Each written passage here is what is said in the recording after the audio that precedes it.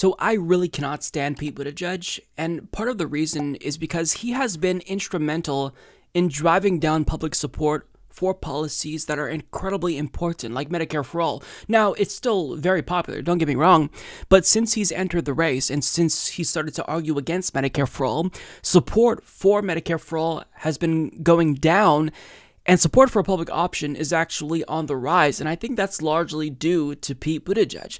Now, when he entered this race, he supported Medicare for all, but all of a sudden, he started to take hundreds of thousands of dollars from the health insurance industry and big pharma and doing all of these fundraisers in the Hamptons with rich people, and now he doesn't support Medicare for all.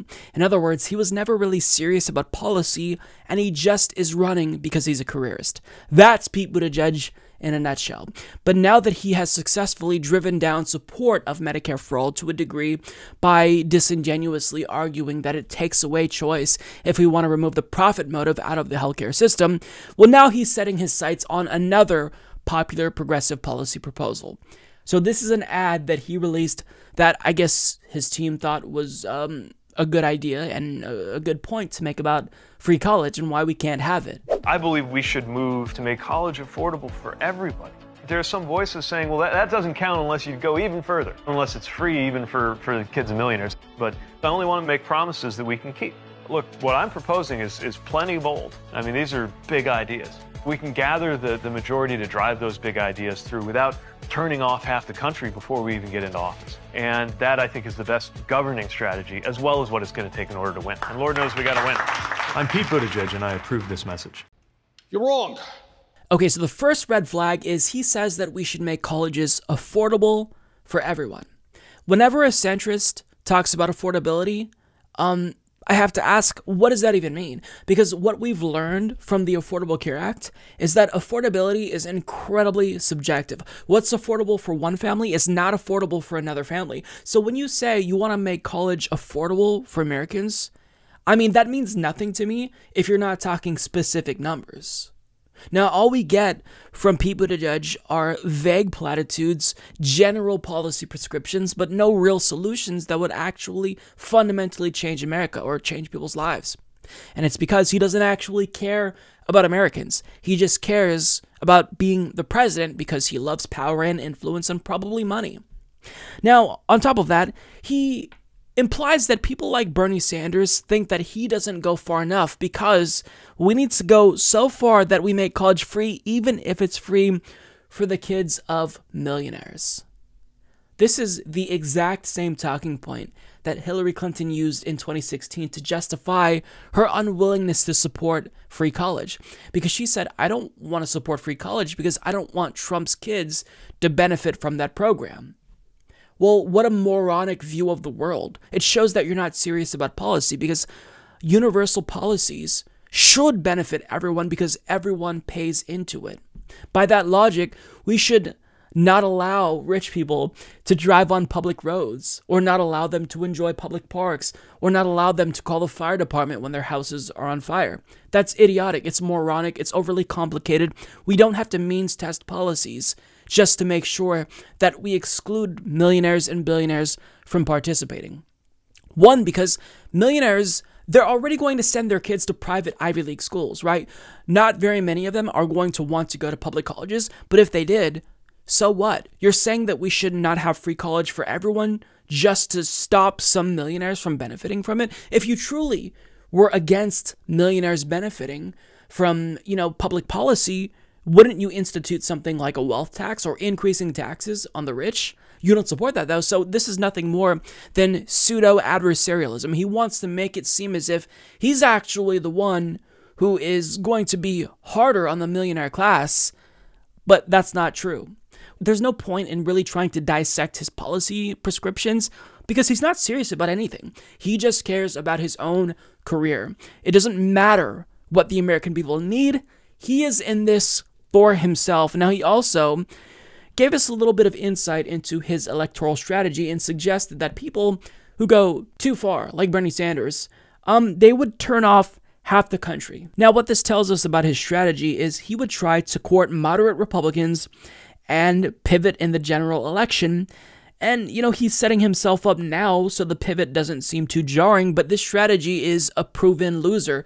Hillary Clinton tried this, and Donald Trump is president.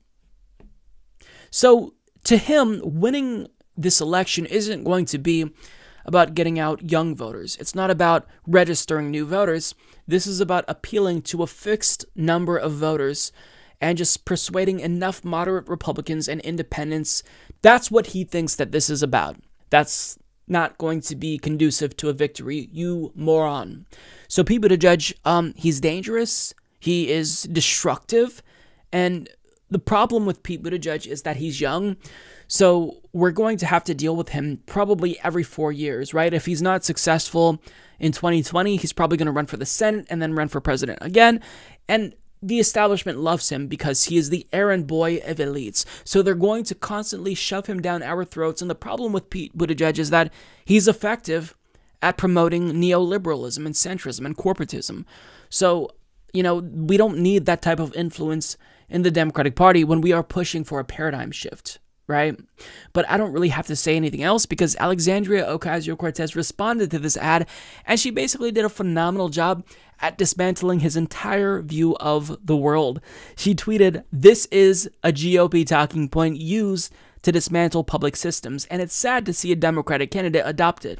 Let's talk about why Republicans are wrong on this. Just like rich kids can attend public school, they should be able to attend tuition free public college. Here's why. One, universal public systems are designed to benefit everybody. Everyone contributes and everyone enjoys. We don't ban the rich from public schools, firefighters, or libraries because they are public goods. Two, universal systems that benefit everyone are stronger because everyone's invested. Three, when you start carving people out and adding asterisks to who can benefit from goods that should be available to all, cracks in the system develop. Four, many children of the elite want to go to private Ivy esque schools anyway, which aren't covered by tuition free public college. Five, lastly, and I can't believe we have to remind people of this, but it's good to have classrooms from pre K through college to be socioeconomically integrated. Having students from different incomes and backgrounds in the same classroom is good for society and economic mobility. That is precisely it.